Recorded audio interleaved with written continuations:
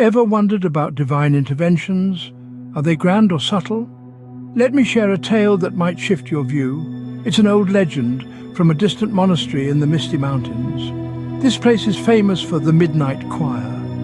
These monks were different. They sang not at sunrise or sunset, but at midnight. Their hymns not for the living or the dead, but for spirits in limbo.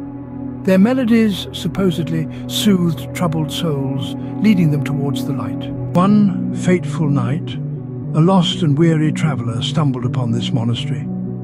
As midnight drew near, the hauntingly beautiful hymns of the choir filled the air, wrapping his troubled heart in a blanket of inexplicable peace.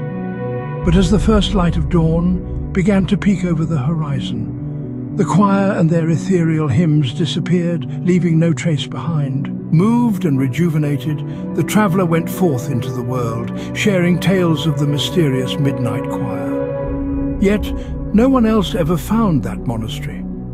It was as if it existed only for those pure of heart and spirit, hidden away in a realm untouched by the mundane. So in those moments when the world feels heavy, when hope seems a distant memory, remember the legend of the Midnight Choir. Divine interventions and messages might not always come in grand gestures.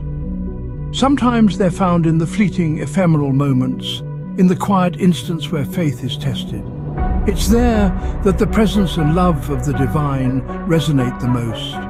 The legend of the Midnight Choir, with its blend of mystique and music, serves as a reminder of the spiritual comfort that can be found in the most unexpected places and times. It emphasizes the omnipresent nature of divine grace, a comforting thought indeed for those seeking spiritual guidance and solace. So, the next time you find yourself awake at midnight, listen closely. Perhaps you too might hear the faint strains of a hymn, a gentle reminder of the divine grace that's always around us, waiting to be acknowledged.